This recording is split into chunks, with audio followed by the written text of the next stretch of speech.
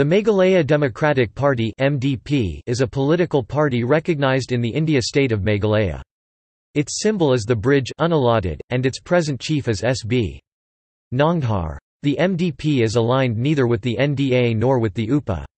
The party has its office at Nongrimmaw, Laitumkhrah, Shillong, Meghalaya. 1.